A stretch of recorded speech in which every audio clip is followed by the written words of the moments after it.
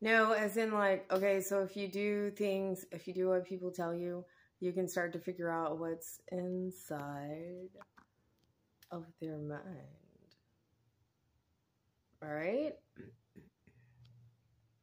So most people are people, and so most people are like nice, and as long as you're not rude, they're not going to tell you to do something that's like not good for you, right?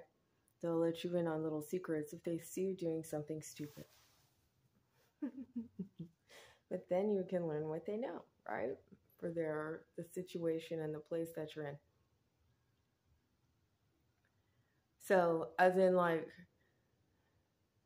for men, the the discussions about what is or isn't socially rude like where to, where are we drawing the lines on what's wrong or what's right and what's destructive and what's constructive and what you should or shouldn't do on the streets?